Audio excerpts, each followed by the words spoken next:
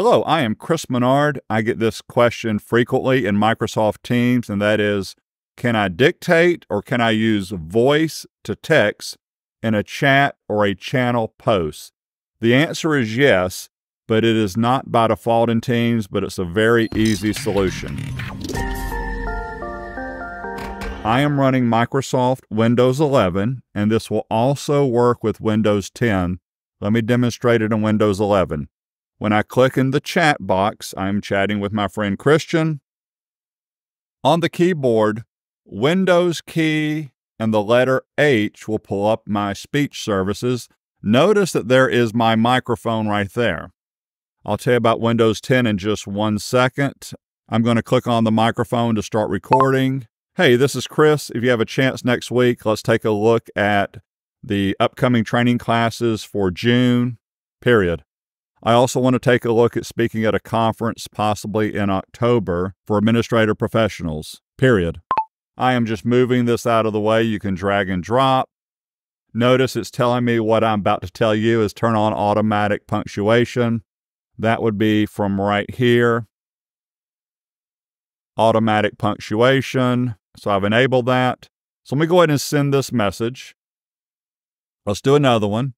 Click on the microphone. Hey, Christian, if you have a chance, can we meet next week about the web page? One other item I want to cover is taking a look at using headers and footers in Microsoft Word. I happen to notice that something was not right last week when we were doing the class.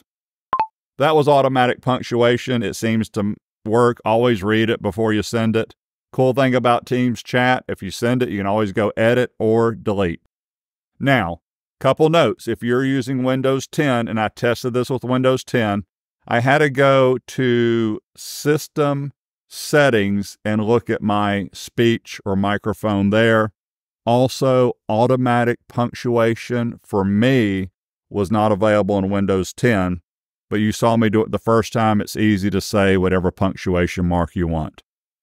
I'm going to go ahead and send this one right there.